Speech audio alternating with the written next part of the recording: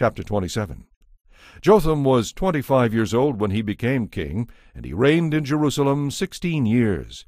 His mother was Jerusha, the daughter of Zadok. He did what was pleasing in the Lord's sight, just as his father Uzziah had done. But unlike him, Jotham did not enter the temple of the Lord.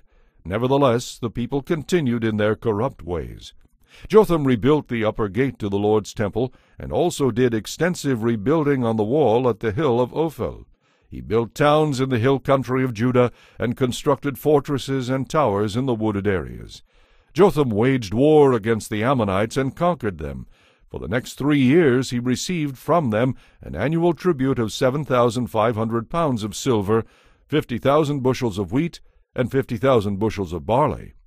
King Jotham became powerful because he was careful to live in obedience to the Lord his God. The rest of the events of Jotham's reign, including his wars and other activities, are recorded in the book of the kings of Israel and Judah. He was twenty-five years old when he became king, and he reigned in Jerusalem sixteen years.